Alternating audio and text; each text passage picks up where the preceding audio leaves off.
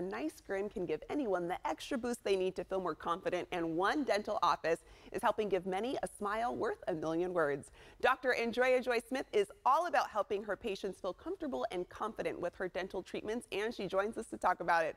Welcome, Dr. Smith. Good morning, Desiree. Thank you. How are you this morning? We're doing good. We're excited to have you on. And Dr. Smith, I wanted to ask you, how long have dental implants been in widespread use? Well, dental implants um, have been in widespread use since the 1970s, the early 1970s.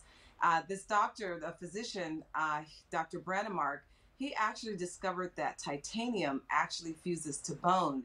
And when that happened, it opened up the floodgates to implants for dentistry as well as other parts of the body also. So it took off in dentistry in the ni- early uh, 1970s. Yeah, and Dr. Smith, we've been talking about this with you for years now. What makes you so passionate about mini dental implants?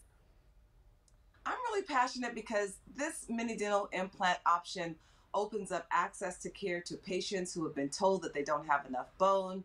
They've been told that um, the cost of obtaining enough bone with bone grafting and larger implants has often been prohibitive.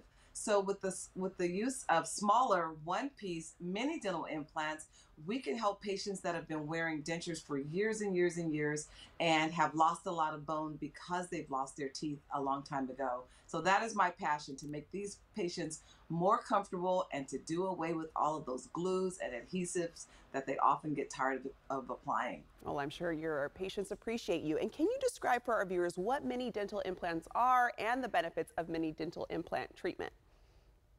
Yes, it is really a smaller version of a conventional implant. Normally, conventional implants um, will hold just one tooth, but when we place several mini dental implants in order to stabilize a denture, we will place four of the small ones, and the way they are retained is with an O-ring that's under the housing, and that denture snaps into place. And so the benefit of having them is you don't have to have a lot of bone the cost and the type of surgery is a lot less invasive. And so that is what makes me really passionate about it because patients that are sometimes medically compromised, they have reasons why they cannot receive extensive surgery. And then also, as that last video shows, that patient that was missing those molars for years was given a quote that he really couldn't afford to replace right. just a couple of teeth. So I am so happy to be able to do that for patients. Yeah, and how long have you offered mini dental implants to your patients? Yeah, I've been doing mini dental implants for about 15, 16 years now.